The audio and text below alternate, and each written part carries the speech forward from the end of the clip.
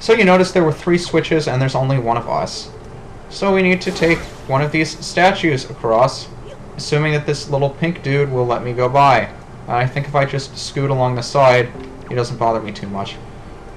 But let's see if I can nail him with this bomb anyway, because I don't like him too much. No, I guess not. Whatever. Stay away from me, Beamos! Pretty sure those are the incarnations of the Beamos in this game. Familiar Zelda enemies. But step on the third switch, and that activates all of these moving platforms! And we're going to see a lot of moving platforms here. I guess the gods like moving platforms that move magically because they're magical gods and they like doing cool things and showing us that they are gods and reminding us why they were the ones that are so cool and so awesome and we love them so much because we don't want them to kill us because they're so much more powerful than us that they can't defeat Ganon themselves, those lazy bombs. So this is the central hub of the dungeon in here and there are three different paths we can take, two of which are locked off, one of which is glowing. Always take the glowing path, because it's so inviting and glowy. Stay away from me. There's a jump across another moving platform. They really use a lot of the moving platforms in this dungeon. And all the glowy, flashy stuff. I mean, overall, this dungeon is visually pleasing in just about every way. Seeker of the Goddess's Guidepost. Press R to calm me and guide me to my place of truth. Place of truth? So we press R to activate our magical cell phone, which is our voice! We get to control Link's voice! And this statue follows us just like a good little statue guy. And the reason they have this barrier above our heads is so we can't just carry him across, we have to lead him across and not go too far along. Now, I believe the characters written on the sides of the ceiling are... Maybe they're in Hylian? It doesn't really look like Hylian to me. Maybe the patterns on the floor are... No, I think the patterns are just um, random. Or maybe they are written in Hylian. I, am not sure. If anybody can correct me on that, please, let me know. Or even better, let me know what it says. Because most of the stuff in here that's writ looks like it's written in a weird language is Hylian, and there is a quick way to translate from Hylian to English or Hylian to Spanish. I forget what it is. Not Spanish! Hylian to Spanish. Japanese. But there is a way to read most of the stuff in here. I just don't think most of the stuff in the Tower of the Gods makes any direct translational sense. Hey, it's a tablet! That that looks strangely like the tablet on Dragon Roost that we got our Song of Wind from. So, let's see. There appear to be markings that indicate specific directions. And more Hylian like I was talking about. Yes, that's what it says. And our first 4-4 time melody. So we have to hold the joystick to the left. Do, do, do, do. You learn the command melody. And now I get text that says the exact same thing I just sang. And another door opens. And the statue talks! My kin wait beyond these doors. Control them and guide them to their places of truth to open the path to the gods. I thought I was already on the path to the gods. But now serving no more purpose, the tablet disappears. Just like everything else should when it no longer serves a purpose. I'm sorry, that was heartless. But in video games, that's usually what happens. Also in movies, because people tend not to stick around for very long if they don't serve a purpose. So let's lure this bubble down here so we can get rid of him. And roll away the flames. Now, here we're going to have to do a little bit of swinging. So, if we're angled properly, I should be able to get this in one go. And I did! Hooray! So this dungeon is going by strangely flawlessly. But as you can see, there's another statue on the other side of this pit that we can call down just like before, except we can't bring him back with us because we needed to swing over here with our grappling hook. So what are we going to do? Well, this took me a little while to figure out when I first tried this, but Link needs to stand on this button over here, use the command melody to take control of the statue. That's what you do with the command melody. It's pretty creepy. And the statue starts glowing green to show that you're the one that's controlling it, and you walk him across the bridge that Link made, because Link can get back here all on his own because he's a big boy and he has the grappling hook. But the statue does not. So we press R to cancel, just like we did with the seagull.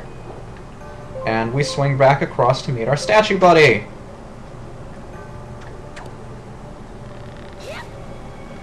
So again, we have to find some way to get him across this gap over here, but we don't have any magical bridge switches. We do have this one, however, that opens up that door, and I'm not quite sure what's in that door because we haven't been there yet. I don't care, Coral. Can I just ignore him and use the grappling hook anyway? Yes, I can. You want to see what he has to say anyway, though? No, I guess not. I believe all he says is that don't worry about leaving the statue behind, he'll still be there. You just go on and do your thing. I'm sure I'll put up the text for anybody who's interested in it at all, but that's all he says, really. So, swing over to the room that we just opened. And... Let's stock up on rupees and such before we go in. I'm surprised they don't give us a heart, because we're going to get one of those magical fades to black. Which can only mean... Mid-boss time! And it's our old friend. The Darknut! Scary son of a gun, isn't he? The first time you fight him, he is. I was controlling as if I was playing Twilight Princess. I tried doing the... What was it? The side... Damn it, I'm not going to remember what the move is before I finish this fight, am I? It's called the, uh, what's it called? The move with the back slice! There we go, I tried doing the back slice, then the command actually worked. I think I'm going to try that next time and see if that works again. Because that was pretty epic! But if no one's played Twilight Princess, you get a couple of hidden skills, and the back slice is one of them. It allows you to roll around the side of an enemy and hit them from behind, which is essentially what we did with the parry attack there. But anyway, we get arguably the greatest weapon in the game, the bow and arrow, or the hero's bow. Hold the button to knock an arrow and release the button to shoot. You can only carry up to 30 arrows, which kind of sucks, but we don't need more than 30 for now anyway. And something cool you could do with this, just like the Darknut could, is you can swipe at those pillars and knock them down with this sword. Like I said before, one of the my favorite aspects of this game is that you can pick up enemies' weapons and actually use them for your own benefit. So make good use of those. Anyway, eye switches. I know what to do with those. I'd also like to show off my kick-ass marksmanship skills by not missing these bubbles. By not missing these bubbles. I might be too used to the arrow controls for other games. But there you go. So those are the platforms we're going to be using to help our little buddy get across the abyss over here. However, we have to get back to our little buddy to do that. Although I might be able to drop onto one of these platforms. No, I suppose not. Well, let's see if we can swing to it anyway. There we go. And tell you what, I'll go into this room just in case if I fall off, I'll spawn right back here, rather than all the way on the other side.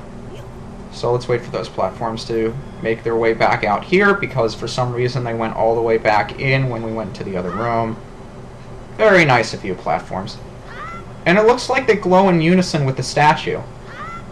I mean, once again, everything in here seems to be glowing at the same time, which shows you that there really is some sort of greater power watching over all of this, everything that you're doing. That's pretty warm in this room. Hey, that one has horns. I didn't notice that before. Did the other one have horns? Are all three of the statues unique? So let's see, we put that one in his place. Let's check out what the other one looks like. Yeah, so that one didn't have horns. That one kind of had curly ears. That one has horns. And that one has, like, the outward horns. So with bow and arrow in hand, we'll move on to our final puzzle. Which I'm going to use bombs for. Because there's stuff we can do down here, too, that we need bombs for. And if you time your throw correctly, you can blow up the wall and not worry about the stupid Keese. Take that, Keese. Now this is pretty neat. You don't want to forget about this. It may not appear the right thing to do when you first get here. Designs that reflect wind are drawn here. Whenever you see one of these, and they're not going to come up until much later, like, look, whenever I get close to that, the Triforce symbol on the ground turns like a bright yellowish, doesn't it? It did before. Yeah, see, why is it, like, randomly changing color? You see the Triforce symbol? Dark light, dark light, dark light, whatever. So whenever you see one of these symbols on the ground, play the Wind's Requiem. I believe they only appear... Hmm. Eight more times in the game, maybe? Play the Wind's Requiem. A cool treasure chest appears on one of these. And usually giant statues don't attack you from all sides. It's usually a treasure chart, or something very similar to a treasure chart, essentially the same thing. So we have one treasure chart, and that reminds me, we still have to go back and get the other treasure chart. But these guys, not much of an issue either. Just throw bombs in their mouths, and not get crushed by them. So let them run around and do their thing, and you can go die, and I'll go get my monies and my hearts and my bombs. I want monies! Can never have too much money, because you never know when one rupee might actually matter. Now, I could go back and... I, is there anything of importance over here? I don't believe there is. What is in that room? Hmm. I honestly forget. I know one thing in here is completely worthless. But I don't know about both things. Oh, you stupid bubble! I know one thing in here is completely pointless, but I don't know about the other. Can I hit that thing from over here? Get out of my way! There we go. Okay, that makes things easier. I guess I'll wait for it to come back down. See if I can float do it. There we go. I mean, you could platform your way through this if you really want to, but I don't. Stay away from me, Bubble! What is with these bubbles blocking all the cutscenes? Hey, look, a small key. I actually did need it. Stay away from me! Go die! I think, at best, up there is a joy pendant. I don't want to worry about it. So instead, I'm going to at least float over to this platform, because I know I can make the jump or die. That's also fast. Because it takes me right next to the door. I don't know why I didn't think to do that in the first place. But I believe the other treasure is just a joy pendant because I remember where this second treasure chart is. Stay away from me, Keese. But we've got everything we wanted down there in the water. The only thing we have left to do in this room is to go all the way across to the other side, because there's something in the other part. Now, if you recall, when we stood on one of these balances, the balance went down with us. We have to balance out our weight by placing the statues on the other side so we can walk across.